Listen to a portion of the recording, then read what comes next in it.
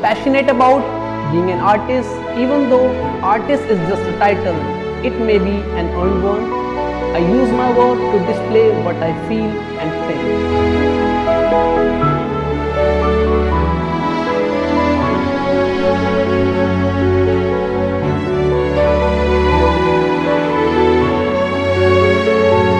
Am very passionate of my creativity, using my imagination, being inspired and inspiring others if possible in the process.